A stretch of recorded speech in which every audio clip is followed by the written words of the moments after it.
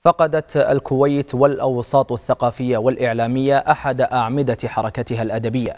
الكاتب والأديب والإعلامي سليمان داود الحزامي الذي غيبه الموت اليوم عن عمر ناهز السبعين عاما ليترجل الفارس عن جواده بعد رحلة عطاء كانت لها بصماتها على المستويين الخليجي والعربي. الفقيد كانت له إسهاماته في إعداد وإخراج الأعمال الدرامية في إذاعة دولة الكويت.